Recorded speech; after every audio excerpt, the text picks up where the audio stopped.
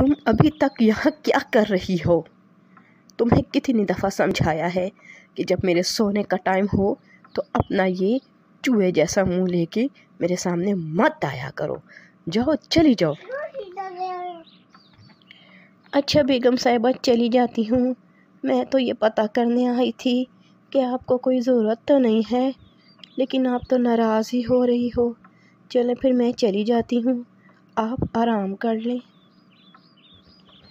अच्छा जाओ, मुझे नींद आ रही है। और बस ऐसा करो, एक कप गरम गरम चाय का बना के मेरे लिए ले आओ। सर में बहुत सख्त दर्द हो रहा है। अच्छा मेम साहब, अभी लेके आई, जैसा आपका हुक्म। शुक्र है, आपने किसी काम का तो कहा मुझे। मैंने तुम्हारी गाकर से कभी पानी पिया था, प्यासा था। मैं याद करो ओए चाय बना लूँ मैं।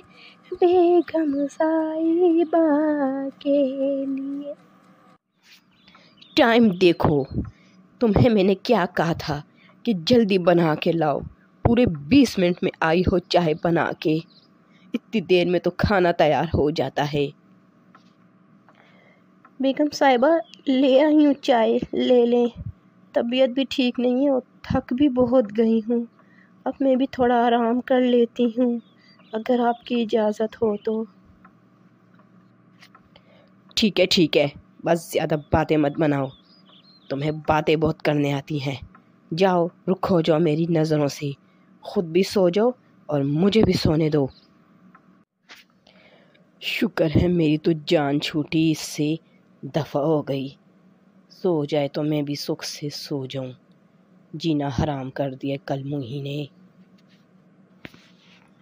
अपने आप को कुछ समझती है? बड़ी आई, पैसा क्या आ गया?